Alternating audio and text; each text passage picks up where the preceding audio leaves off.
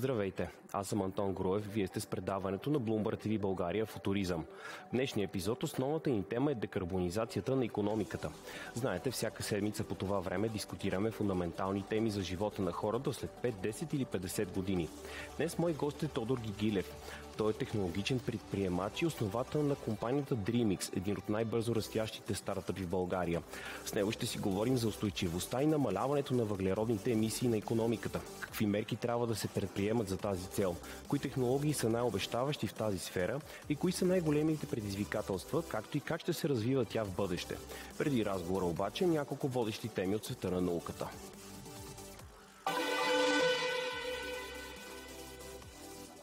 Изследователи са постигнали значителен напредък в разработването на универсална компютърна памет, революционна технология, която е на път да замени както оперативната, така и флаш паметта. Последният пробив е свързан с нов материал, наречен GST467. Той се състои от германи, антимон и тербии, използван в структура от подредени слоеве, известна като супер решетка. Този материал демонстрира забележителна стабилност и може да е от основно значение за създаването на универсална памет, която да съхранява информация както краткосрочно, така и дългосрочно. Този прототип използва технологията за памет с фазови промени. Превключва между състояние с високо и ниско съпротивление, за да представи единиците и нулите на компютърните данни.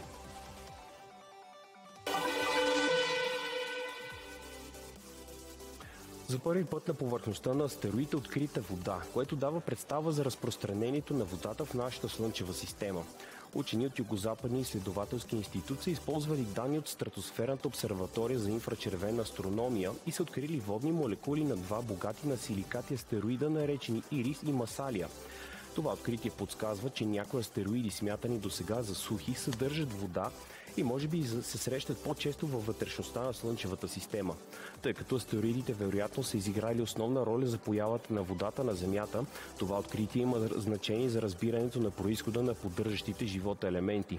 Водещият автор Анисия Аредондо отбелязва, че изучаването на състава на астероидите помага да се проследи разпространението и еволюцията на материалите в Слънчевата мъглявина. Откритието подобрява разбирането ни за движението на водата в космоса, като подпомага търсенето на потенциален живот и на други места в Вселената. Ново проучване показва, че лекарството Абатацепт, което се използва за облегчаване на симптомите на ревматоидния артрит, може да предотврати появата му проучването са участвали 213 пациенти с висок риск от развитие на състоянието, като 110 от тях са получавали абатацепт, а 103 плацебо в продължение на една година, след което са били наблюдавани още една година. Резултатите показват значително намаляване на развитието на ревматоидния артрит сред групата на Батацепт в сравнение с групата на плацебо – 6% спрямо 29% след една година. Въпреки обещаващите резултати, по-дългосрочната ефикасност и оптималното дозиране трябва да бъдат проучени допълнително. При ревматоидния артрит те клетките на тялото атакуват собствените му тъкани, а батацепт потиска тяхната активност. Този пробив дава надежда за предотвратяване на ревматоидния артрит, хронично заболяване, за което до момента почти няма възможности за превенция.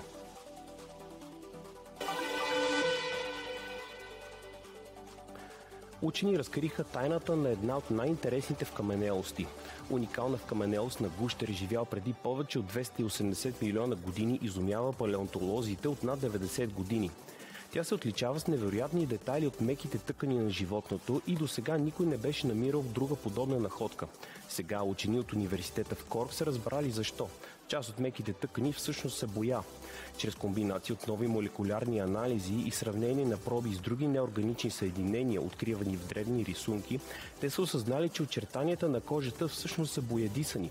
Новото откритие може да помогне на учените да разберат повече за вида или други животни от същата епоха.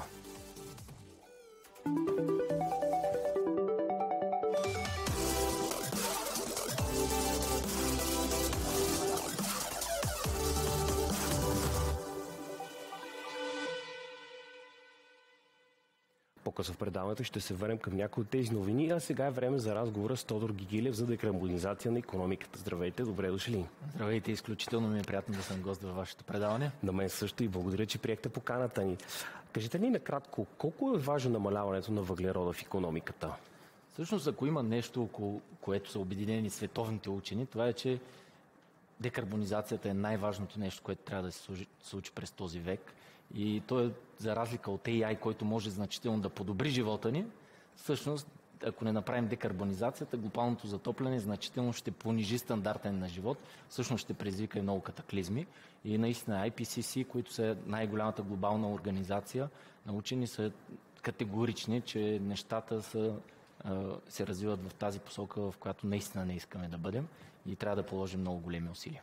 А вие присъствахте на последната климатична среща КОП-28 в Дубай.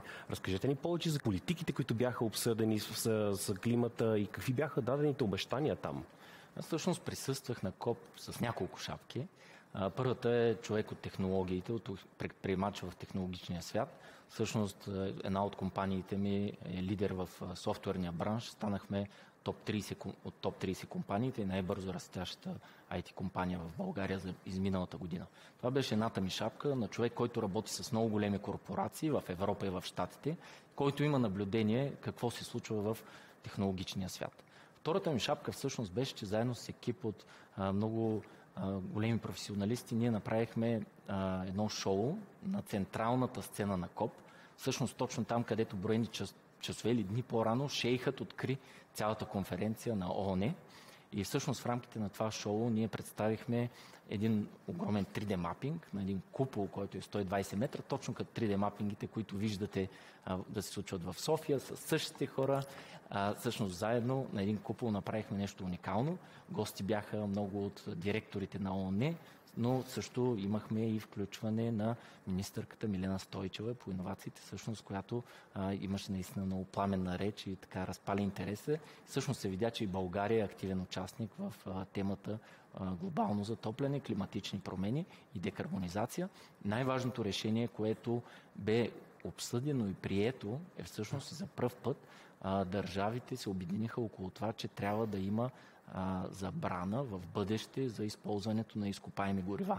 Все още няма обвързване за конкретна дата, но това, че въобще в Обединените арабски емирства, където да. е меката на изкопаемите горива, се говори за това, всъщност показва, че наистина всички осъзнават важността на едно такова решение и всъщност на важността на намаляването на емисиите.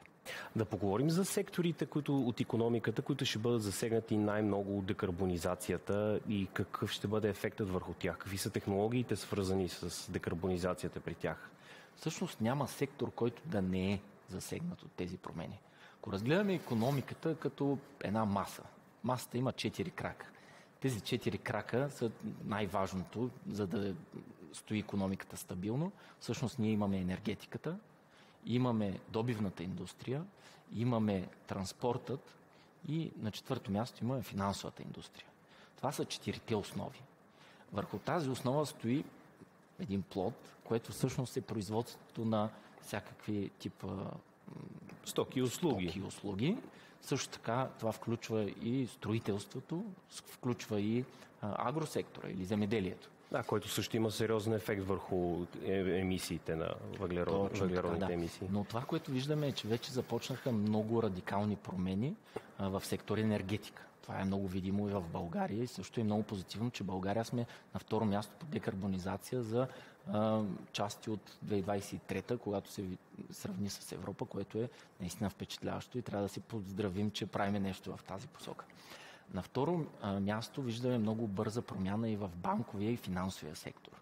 За пример може да дадем, че миналата година са отпуснати, са листнати 900 милиарда sustainable bonds или зелени бондове, които всъщност са пари инвестирани в зеления преход.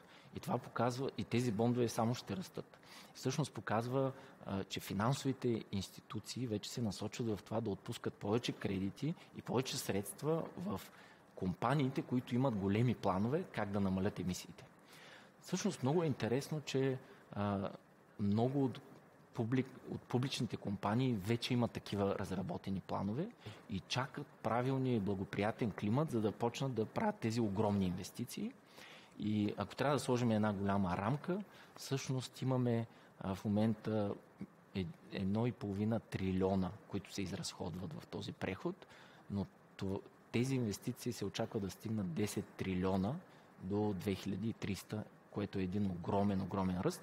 И това всъщност показва една огромна ниша, и бизнес ниша от една страна, но същото време и опасност, която ако не адресираме, няма да е благоприятно за нито един от Само едно уточнение, това са инвестициите на годишна база, нали така? На годишна база и всъщност показва, че всеки, който мисли дали е правилно да се насочи в тази посока, това показва, че наистина всеки бизнес е не само нужно, но ще бъде и полезно и благоприятно да се насочи. И всъщност в работата ми, една от компаниите ми, която е в Англия, там работиме с няколко многомилиардни компании, които са лидери в техните индустрии. И виждаме, че борбата там е коя компания ще стане лидер на темата устойчивост. Било то в транспорта и авиоиндустрията, било то в производството на мебели, било то а, нещо свързано с, а, с дори с шивашката индустрия. Виждаме, че абсолютно всяка от тези компании, с които работиме, те казват, аз искам да съм разпознат като лидер. Защо? Защото когато аз съм лидер в една индустрия, първо към мен ще се обръщат най-инновативните компании и ще си купуват най-скъпите стоки в моя бранш и в моя сегмент. На второ място, много компании ще се обърнат към мен за ноу-хау, но също и за да купят част от моите технологии. И всъщност тук вече говорим за битка на иновациите, mm-hmm. а не само на крайен продукт. И тук е мястото България да се включи много активно и да бъде голям бенефициент от тези промени, а не само да купуваме от чужбина тези иновации. А като говорим за иновации, можете ли да дадете конкретни примери? Споменахме и сектора на транспорта, авиационния сектор също така. Мога да дам конкретни примери. Например, в сектор авиация, Боинг и, и другите големи компании всъщност, и Airbus, и всички са се насочили към това самолетите да преминат или към Sustainable Aviation Fuel, което е възобновяеми източници на горива, но по-големия преход всъщност е към хайдроджен или uh-huh. водород. Да. И всъщност имат вече цел в коя година всички самолети да се, да се движат на водород. Това от своя страна влече и още последици, защото цялата енергийна инфраструктура трябва да бъде прекроена. Пример в Холандия най-големите пристанища вече работят по темата как да се разтоварва и да се пренася този водород. А, също а, индустрията, която е доста така добре развита в България, автотранспорт. Всъщност виждаме големите автомобилни предприятия, които вече демонстрират автомобили и големи тирове, които са на водород. А, като дори бях така доста приятно изумен, докато сменях гумите последния, последния сезон, всъщност видях, че в списанието, mm-hmm. което беше за камиони в въпросното място, се рекламираха доста усилено електрованове и вече водородни клетки за тирове, което показва, че движението е наистина вече придобил доста голям мащаб. Преходът е започнал и вече струпа инерция за него. Точно така, но това се пренася в абсолютно всеки един сектор. Да речеме една, едно шивашко предприятие. За едно шивашко предприятие, да речем, е много важно откъде, например, идва памука или тъканите. Този памук може да бъде произвеждан по един по-добър начин, с по-малко консумация на вода и с по-добро земеделие, което отделя по-малко въглеродни емисии. Съответно, ако това предприятие, да речеме, снабдява, а, да речеме, корабната индустрия или самолетната индустрия с униформи, да речем, еми, това предприятие ще бъде предпочетено, защото крайният продукт, който той дава на, едно, на своите клиенти, ще бъде с по-нисък въглероден отпечатък. А, освен, освен тези технологии, които вече споменахте, кои са най-големите предизвикателства в сектора? Знаем, че водорода е доста спорна тема, например. Той е свързан с много възможности, но и с много предизвикателства. Предизвикателствата са огромни и всъщност в работата ни с големи корпорации, основно в Англия на темата а, устойчивост, всъщност видях, че най-голямото предизвикателство на първо място е неразбирането на темата. Неразбирането на темата какво означава устойчивост. Все още за много хора това означава благотворителност. Но всъщност вече рамката, в която оперират компаниите, е променена и, например, корпорациите, които са на публичните компании, всъщност те трябва да предоставят редица репорти или отчети на тема какво правят.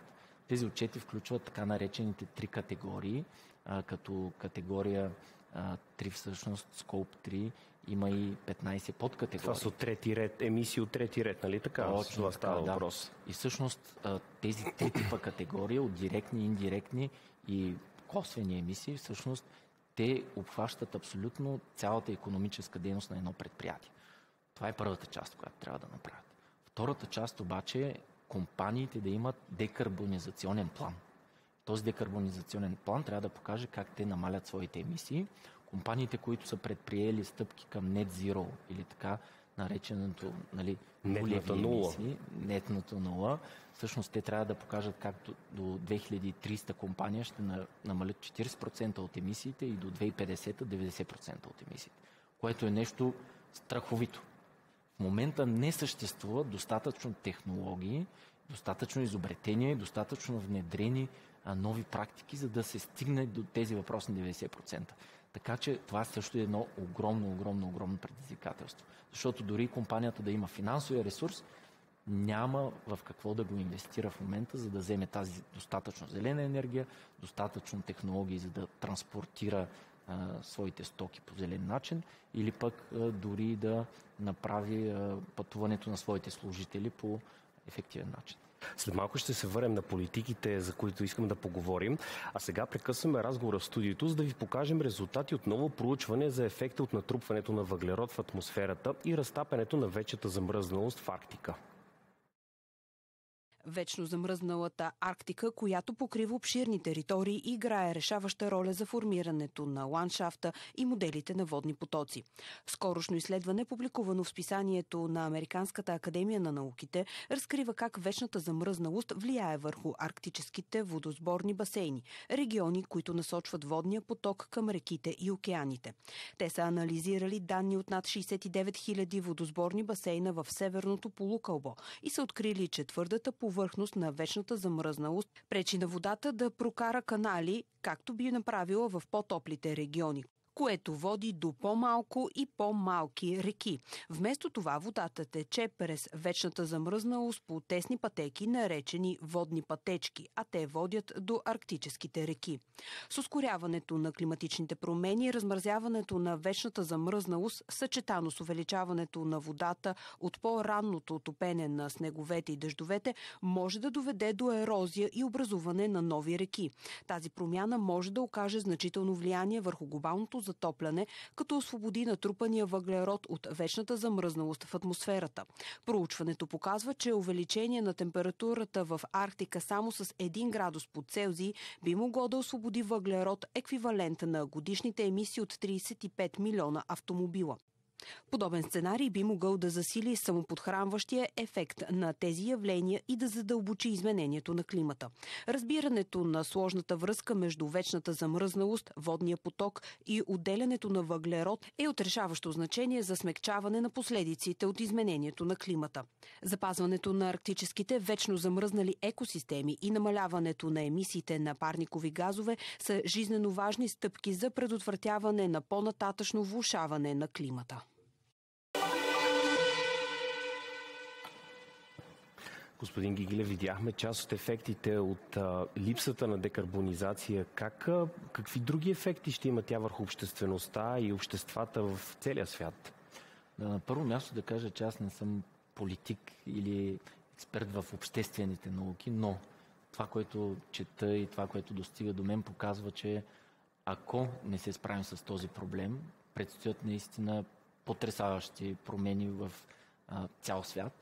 Всъщност прогнозите са доста убедителни, че ще има огромни вълни от бежанци, които са а, така наречените климатични бежанци. А, сър Дейвид Атенборо дори ги изчислява заедно с тях екип, с негов екип, че това са потенциално 1 милиард хора. 1 милиард човека, които ще променят местоживеенето си заради климата. Това ще се случи основно, защото тези хора ще имат недостиг на вода, Съответно, много голяма част от развиващите се свят са все още в сферата на земеделието, защото те нямат тези технологии, които ние имаме. И всъщност тези хора няма да могат да произвеждат нищо с земята си. И те ще се преместят в градовете и ще се случи точно това, което се случва в Сирия. В Сирия вече е доказано от учени, че всъщност това е Climate Induced Disaster, което означава, че това е, тази война е предизвикана от фермерите, които идват в градовете, те правят възстание, защото няма с какво практически да се занимават. След това е, има кърво потушение на възстанието и вече след последиците знаем всички. Това ще се случи в адски много държави. И в огромен мащаб. И в огромен мащаб, защото държави като Египет, като Африка и Събсахариен регион, там има стотици милиони хора. Те надминават вече тези държави по население, европейските държави, но просто ще бъдат в много затруднено положение.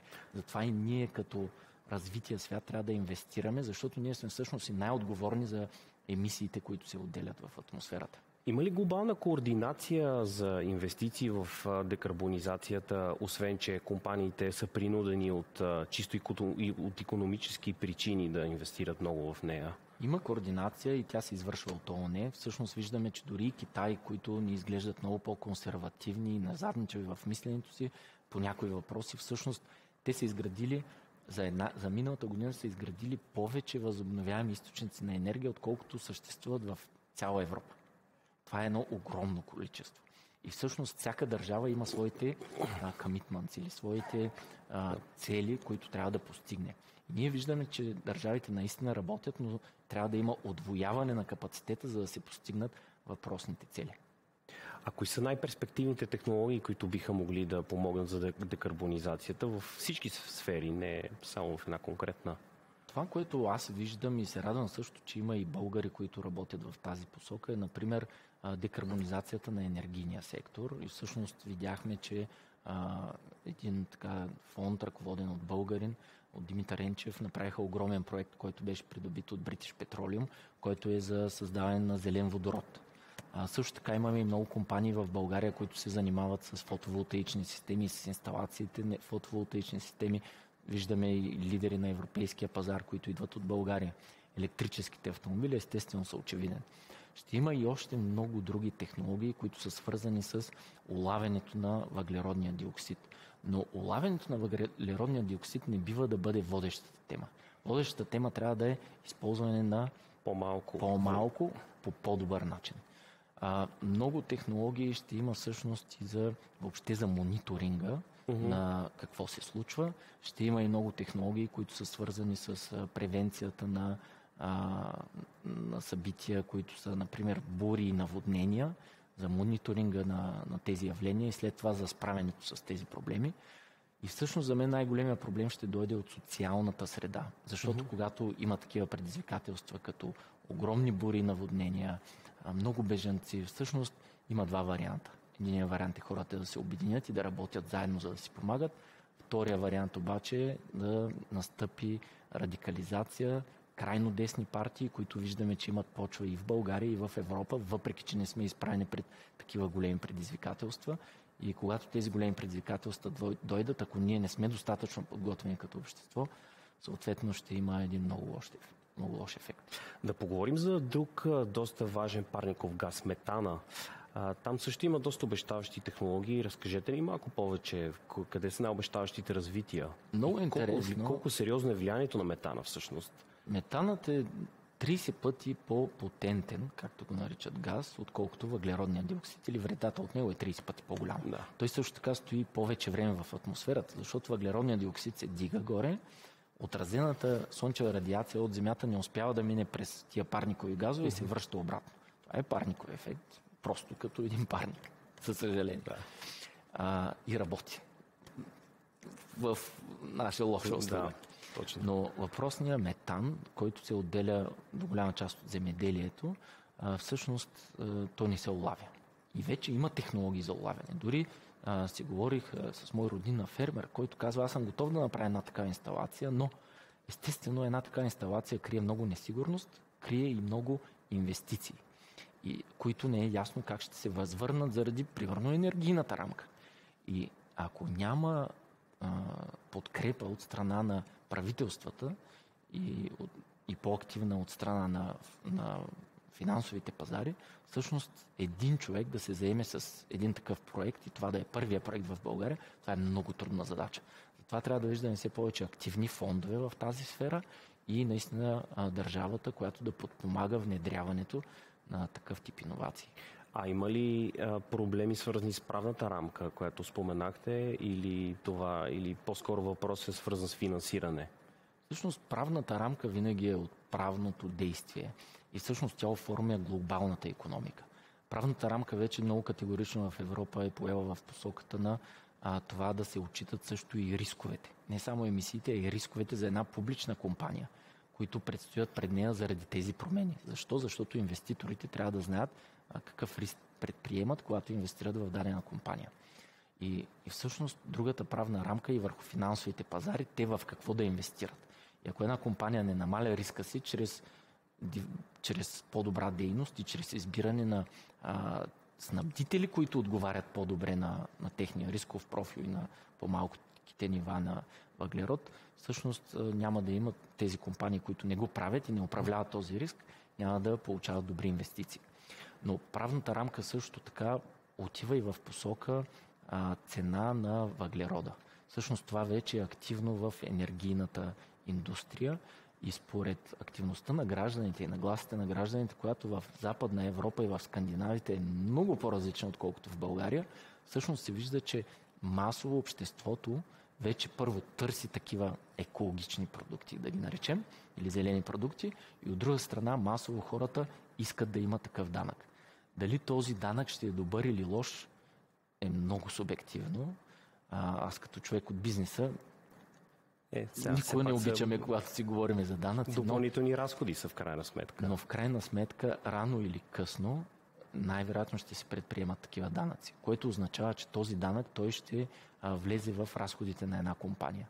И компаниите вече го виждат, и особено големите западни компании, те предприемат стъпки, за да намалят тия въглеродни емисии, за да плащат по-малко данъци.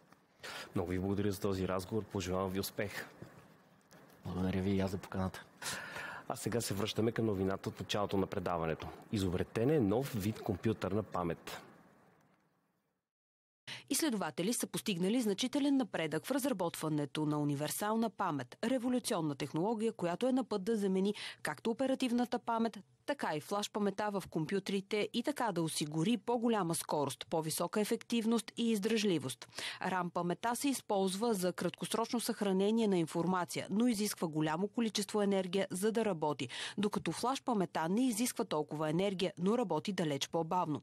Последният пробив е свързан с нов материал, наречен GST-467.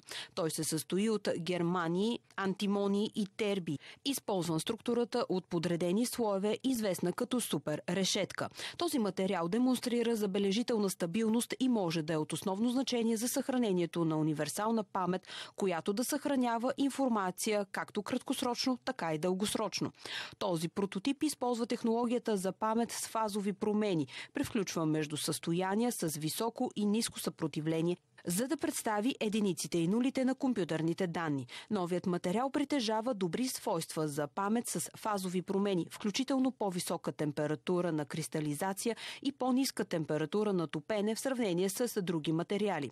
Изследователският екип е изпробвал стотици устройства с памет, като е използвал GST 467 и е установил, че те осигуряват високи скорости, минимална консумация на енергия и отлично запазване на данните дори при високи температури. В сравнение с друг обещаващ кандидат за универсална памет, наричан Ultra RAM, GST има предимства в работното напрежение и може да се интегрира по-лесно в съществуващите процеси за производство на полупроводници. В бъдеще сътрудничеството с индустриални партньори ще бъде отрешаващо значение за увеличаване на производството на базираната на GST 467 памети в економически ефективен мащаб. Това партньорство ще помогне за въвеждането на технологията в потребителските устройства и може да доведе до истинска революция във възможностите на компютрите.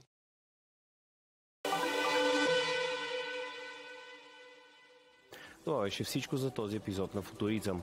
Гледайте ни следващия четвъртък от 21 часа по Bloomberg TV България.